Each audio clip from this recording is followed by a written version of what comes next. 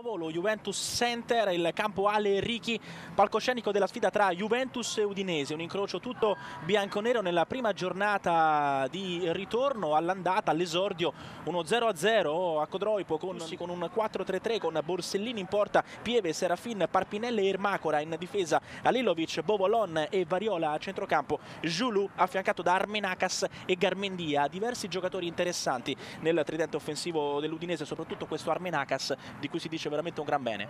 Assolutamente, hai ragione Gabriele, è un, un giocatore dalle indubbie qualità, è un mancino puro che gioca prevalentemente a destra per poter rientrare e sfruttare il suo ottimo tiro. La difesa bianconera in qualche modo, poi Variola prova a liberare il destro Variola, aspetta dei rinforzi, l'apertura è a beneficio di Armenacas, punta l'avversario Armenacas, si accentra dentro ancora per Variola e l'intervento decisivo da parte di Emil Laudero che evita il pareggio dell'Udinese, grande chance per l'Udinese, la chance più importante del match con Variola che si dispera, ma grande intervento di Emil Laudero, molto reattivo, rivediamo, ha fatto tutto bene Armenacas con il pallone in mezzo di prima intenzione Variola. E qui è stato un grandissimo intervento reattivo di Audero a dire di no per Ermacora. Può andare al traversone lo effettua sul secondo palo c'era in zona anche Melissano poi arriva Armenacas con il destro Melissano in due tempi ancora Melissano e poi si divora il gol dell'Udinese con il pallone che termina direttamente